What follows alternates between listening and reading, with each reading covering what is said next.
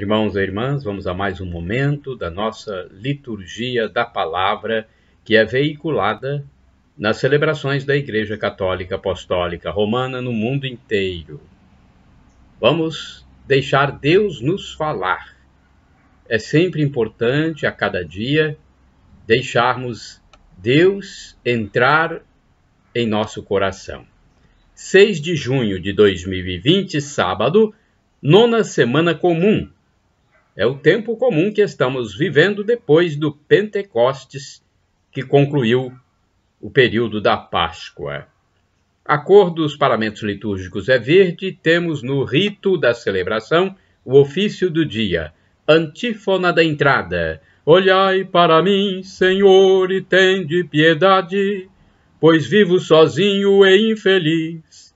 Vede minha miséria e minha dor e perdoai todos os meus pecados. Salmo 24, versículos de 16 a 18. Oração do dia.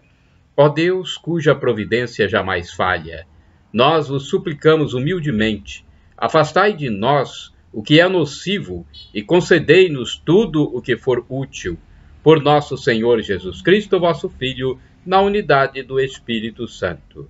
Primeira leitura, leitura da segunda carta de São Paulo a Timóteo, capítulo 4, versículos do primeiro ao oitavo.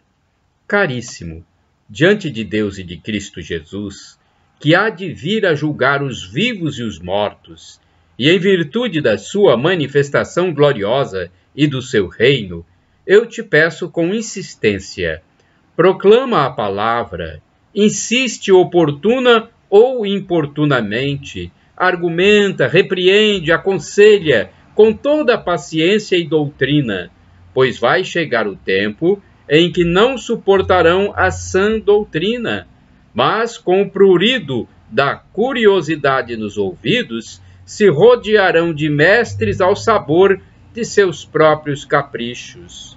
E assim, deixando de ouvir a verdade, se desviarão para as fábulas.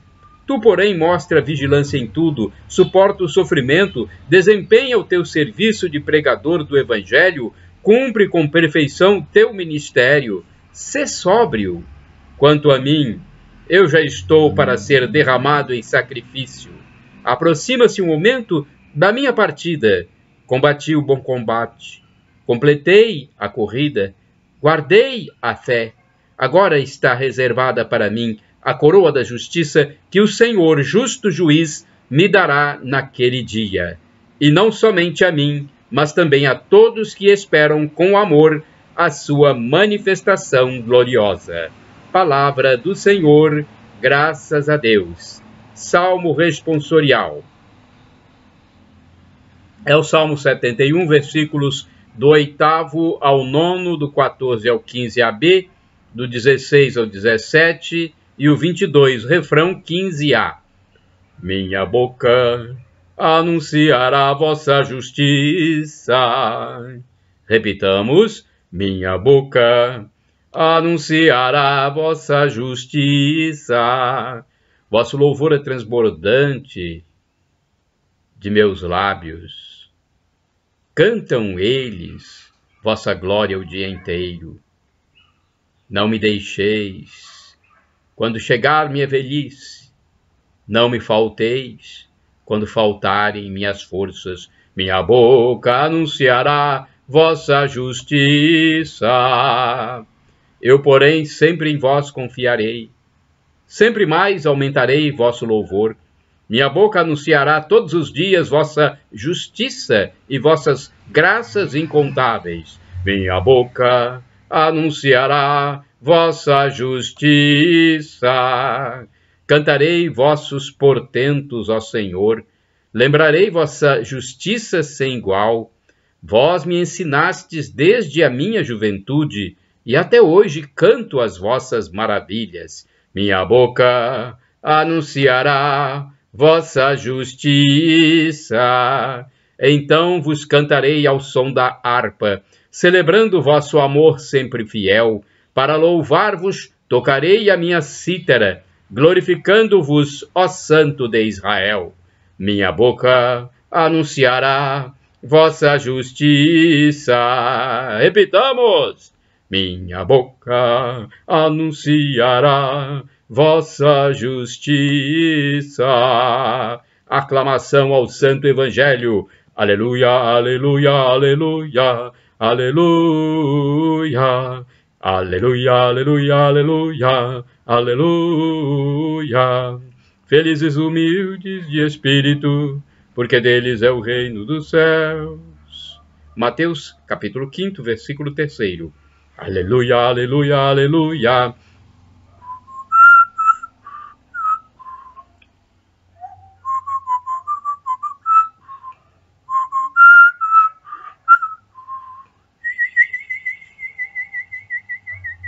Evangelho de Jesus Cristo segundo São Marcos, capítulo 12, versículos de 38 a 44. O Senhor esteja convosco, Ele está no meio de nós. Proclamação do Evangelho de Jesus Cristo segundo São Marcos.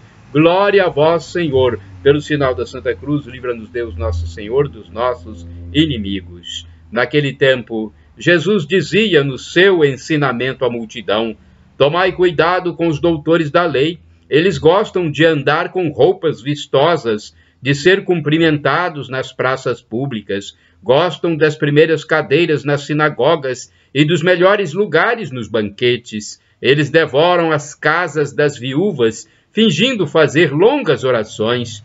Por isso, receberão a pior condenação. Jesus estava sentado no templo, diante do cofre das esmolas, e observava como a multidão depositava suas moedas no cofre. Muitos ricos depositavam grandes quantias. Então chegou uma pobre viúva que deu duas pequenas moedas que não valiam quase nada.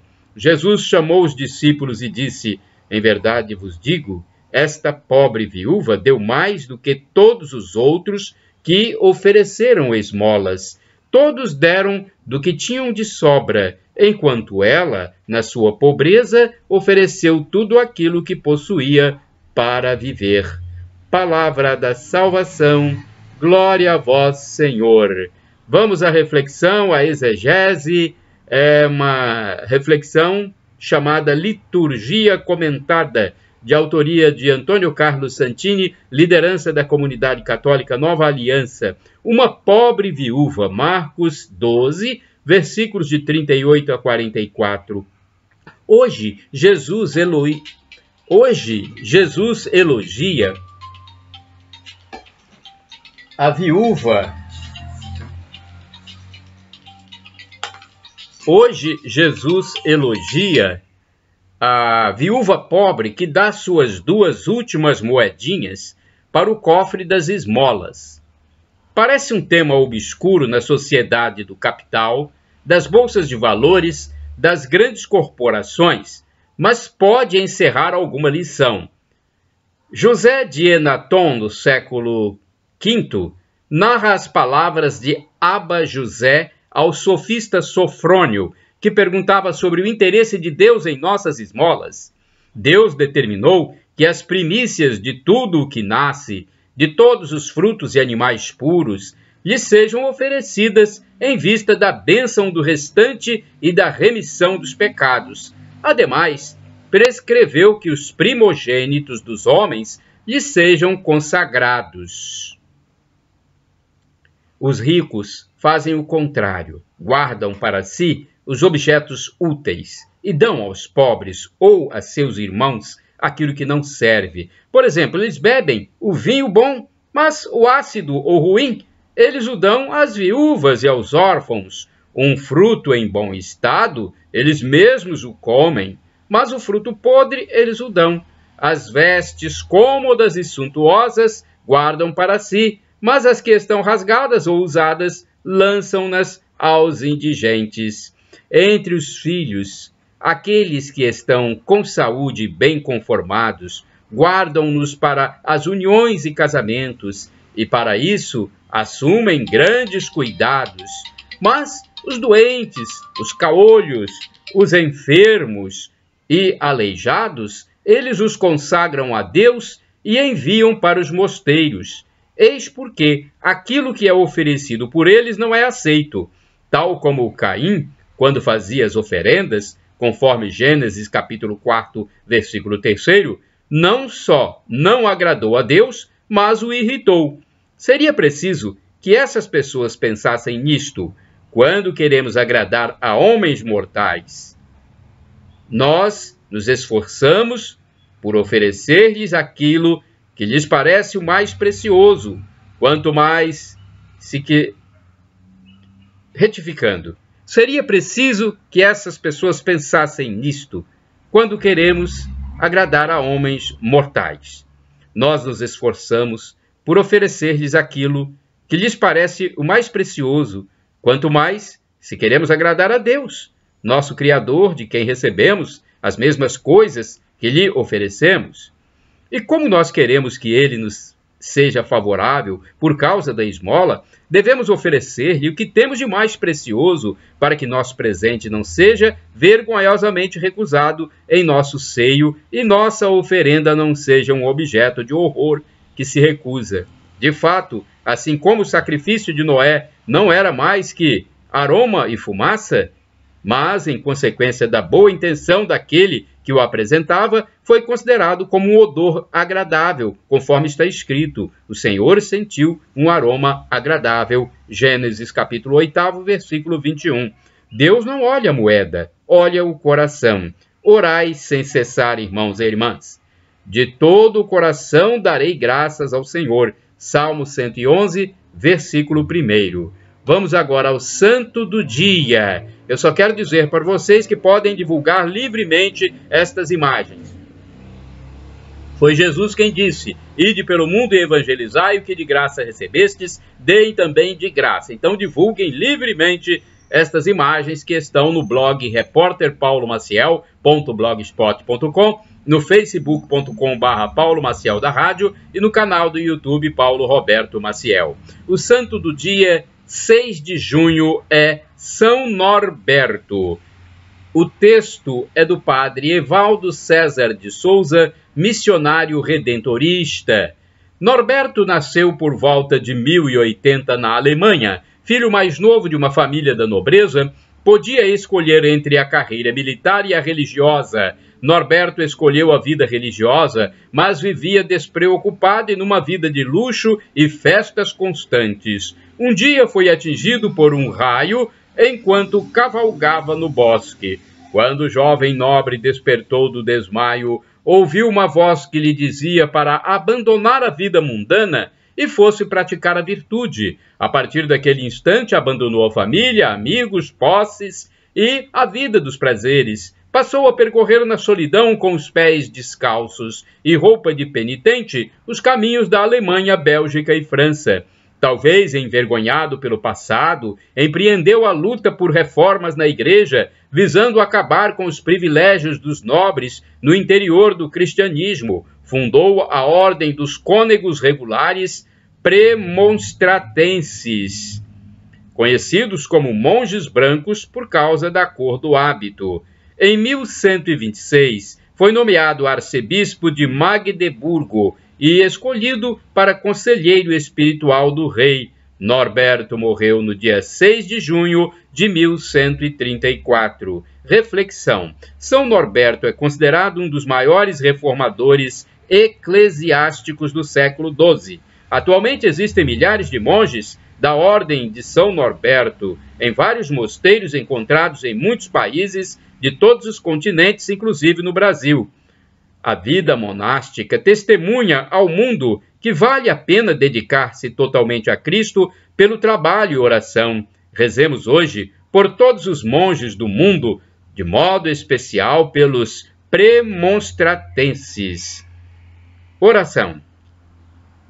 Rezemos. Ó Deus, que fizestes de São Norberto, fiel ministro da vossa igreja, pela oração e pelo zelo pastoral, Concedei-nos, por suas preces e méritos, alcançar um dia, com a vossa graça, a realização de tudo que nos ensinou por palavras e exemplos. Por Cristo nosso Senhor. Amém. Shalom Adonai, a paz de Cristo Jesus, traduzindo do hebraico para o português. E El Shaddai, Traduzindo, Deus onipotente, Deus todo-poderoso, ele proverá, creia, acredite. E Maranatá, do aramaico, dialeto de Jesus Cristo, significa Vinde, Senhor Jesus. Foi uma frase dita pelo apóstolo São Paulo. São Paulo disse mais: o sofrimento de agora nem se compara com a glória futura que será revelada em nós na volta de Cristo. Isto é, se nós formos absolvidos, o que nós esperamos. Para isso, devemos pedir perdão de nossos pecados diariamente, nos arrepender e acreditar que Jesus é Deus, no mistério da Santíssima Trindade, que é Pai, Filho e Espírito Santo. Shalom, a paz!